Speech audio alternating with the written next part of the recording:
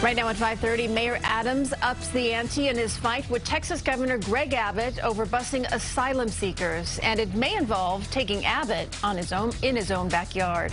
Good evening. I'm Christine Johnson. And welcome back. I'm Maurice Dubois. As busloads of migrants pour into the city from Texas, the mayor says he is getting ready to fight back and make life difficult for the Texas governor. CBS 2 political reporter Marcia Kramer says the mayor is ready to get political. In some respects, you could call this the political version of Texas Hold'em poker.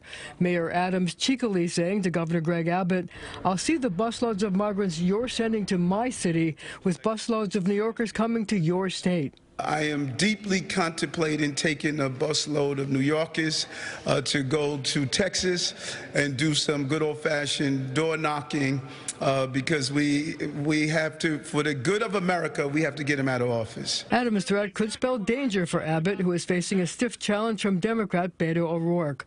A poll last month had Abbott's lead shrinking to six points, a gap smaller than when Republican George W. Bush upset Democrat Ann Richards in 1994. I already called called all of my friends in uh, Texas and told them how to cast their vote. Adams unveiled his political payback plan as the city council held a hearing on how the city is handling the intake of migrants.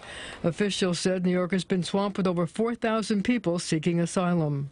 Given this moment of need and the fact that we must meet our legal and moral mandates to provide shelter, we must expand and be creative in our expansion to temporarily house those seeking asylum in our city. And with the shelter system at a 1% vacancy rate, in part because of the end of the eviction moratorium, officials challenge city council members to help find more space. And we are looking for assistance from this committee as well as the council at large to find locations within your districts to shelter asylum seekers. 11 hotels have been uh, opened to house and shelter asylum seekers, and this will continue to be one of our biggest needs. While there are still many unanswered questions, the need for migrant services is only going to intensify.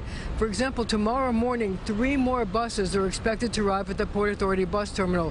140 people boarded them in Texas. At City Hall, I'm Marcia Kramer. CBS 2 News. Well, Governor Abbott appeared to be unimpressed with the mayor's threat, saying people are volunteering to leave the Big Apple because of high taxes and out of control crime. Not to be outdone, Mayor Adams' spokesperson shot back, saying the murder rate in Texas is much higher than the murder rate in New York.